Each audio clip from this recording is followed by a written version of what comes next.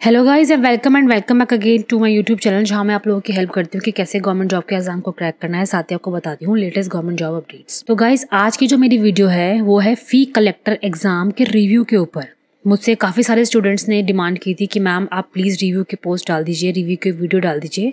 तो मेरे कुछ स्टूडेंट्स ने मेरे साथ अपने रिव्यू शेयर करे हैं तो वो मैं आप लोगों को बताने वाली हूँ। तो स्टार्ट करते हैं। ये जो है हमारा सेवनटीन नवंबर का थर्ड शिफ्ट का एग्ज़ाम है।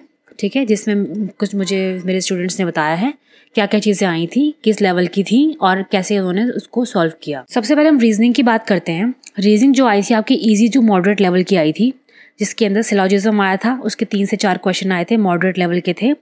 पॉसिबिलिटी टाइप क्वेश्चन भी आए थे आइदर और नाइदर नॉर वाले। स्टेटमेंट कंक्लूजन बेस्ड क्वेश्चन भी आए थे, दो से तीन मॉडरेट लेवल के। ब्लड रिलेशन इसके दो से तीन क्वेश्चन आए थे, ठीक है, ये ईजी थे बहुत। इसमें वैसे बहुत ईजी टॉपिक है ये। डायरेक्शन से रिलेटेड दो से तीन क्वेश्चन आए थे।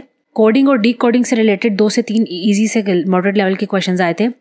सीरीज़ का टॉपिक हाँ सीरीज़ जो है वो अल्फ़ाबेटिक सीरीज़ और न्यूमेरिक सीरीज़ दोनों आई थी मॉडरेट लेवल की थी, यानी कि इजी नहीं थी थोड़ा सा ट्रिकी रही होगी।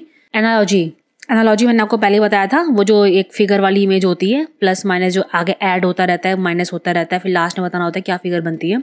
तो एनालॉजी भी आई थी। वैन डायग्राम जो थे वो इजी लेवल के आए थे, तीन से चार क्वेश्चन वैन डायग्राम के आए थे। डाइस वाले क्वेश्चन भी आए थे मॉडरेट लेवल के, ठीक है, जो डाइस होता है। और इनइक्वालिटी वाले क्वेश्चन भी आए थे, साथ में ऑड वन आउट वाले क्वेश्चन भी आए थे। तो गाइस ध्यान रखिएगा रीजनिंग में आपके ऑलमोस्ट सारे टॉपिक कवर किए हुए हैं, ठीक है? सारे टॉपिक कवर किए हुए हैं।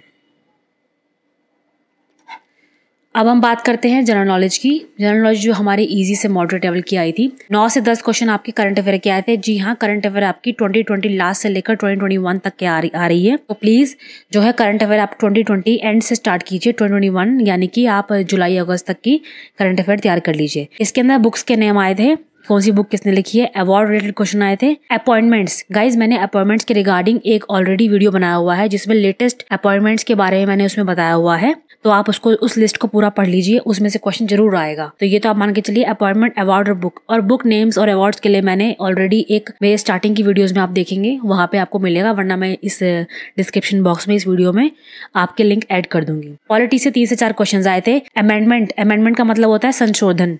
ठीक है संशोधन रिलेटेड क्वेश्चन आए थे। जैसे एग्ज़ाम्पल के लिए पुडुचेरी। जो पुडुचेरी है, वो कौन से अमेंडमेंट के बाद एड हुआ था?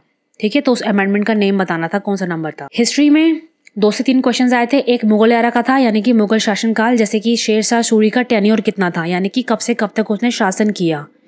ठीक है, कब से कब तक का उसने शासन किया? तो ये आपको बताना था। एंशियंट हिस्ट्री में से क्वेश्चन आए थे, यानी कि हमारे हिस्ट्री तीन पार्ट में डिवाइड है ना एंशियंट मिडिवल और कंटेम्प्रेरी इंडिया तो एंशियंट यानी कि बिल्कुल स्टार्टिंग वाली हिस्ट्री से क्वेश्चन आए थे कुछ। साइंस से भी तीन चार क्वेश्चन आए थे। एक जैसे एग्ज़ाम्पल के लिए साउंड से रिलेटेड एक क्वेश्चन था। स्टैटिक जी के यानी स्टैटिक जी के वो होती है, जो फिक्स होती है, कि जो जैसे डांस हो गया कौन सा डांस किसने मतलब किया, कौन सी जगह होता है कुछ स्टेट वाइज जो होता है, कौन से स्टेट का, कौन सा डांस है, जामा मस्जिद किसने बनाई, ठीक है? तो चौदह से पंद्रह क्वेश्चन जो थे, खाली आपके स्टैटिक जीके से आए थे। तो स्टैटिक जीके के रिगार्डिंग ऑलरेडी मैंने वीडियो बनाई हुई है, आप चेक कर सकते हैं, वहाँ से पढ़ सकते हैं क्वेश्चन वहाँ से ज़रूर आएगा।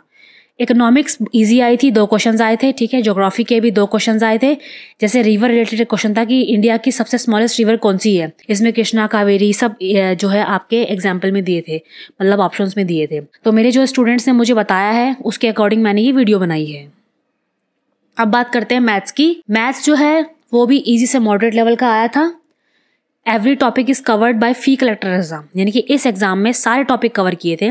मैंसुरेशन बहुत इजी लेवल की थी। वॉल्यूम क्यूबर्ड पैरामीटर वाले क्वेश्चन थे। टाइम एंड वर्क से दो तीन क्वेश्चन आए थे।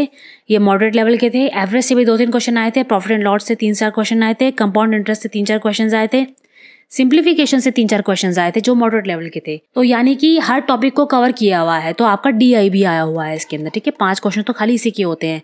और वो बार वाले क्वेश्चन ठीक है? जिसमें जो जो कि इसमें कितना ये बार्स लगे होते हैं ना, ये वाले क्वेश्चंस भी आए थे। अब हम बात करते हैं इंग्लिश की। इंग्लिश जो है इजी से मॉडरेट लेवल की रही है, बीस क्वेश्चन वोकेबलरी के वोकेबलरी के रहे हैं और बीस क्वेश्चन जो है आपके ग्रामर से रहे हैं। वोकेबलरी से क्या आया है? चार स्पेलिंग वाले आए हैं, चार एंटोनिम्स आए हैं, ठीक है? चार सिनोनिम्स आए हैं एडियम फ्रेजेस से भी आया है वन वर्ड सब्सटीट्यूशन आया यानी कि अनेक शब्दों के लिए एक शब्द। और पी क्यू आर एस वाले क्वेश्चंस थे, दो से तीन क्वेश्चन उसमें से आए हैं। पाँच आपके पैसेज से क्वेश्चंस आए हैं article preposition fill ups cloze test ठीक है? तो ये इंग्लिश भी आपकी इजी से मॉडरेट लेवल है, लेकिन इसमें बच्चे अच्छा स्कोर कर जाएँगे, क्योंकि ईजी का इंग्लिश का लेवल थोड़ा अच्छा आता है। अब बात करेंगे हिंदी की। इजी से मॉडरेट लेवल रहा है इसका। जैसी जूनियर क्लर्क के एग्ज़ाम में आई है, लगभग वैसी ही आई है। आपके समास, ठीक है? उपसर्ग प्रत्यय, ये सारे टॉपिक कवर किए हुए हैं। ठीक है, आपके विलोम शब्द, प्रायवाची शब्द, और आपके अनेक शब्दों के लिए एक शब्द, ठीक है, वर्तनी एक्सपेलिंग्स वर्तनी भी आई है आपकी। तो हिंदी को भी आप हल्के में मत लेना, हिंदी के क्वेश्चन भी अच्छे आ रहे हैं।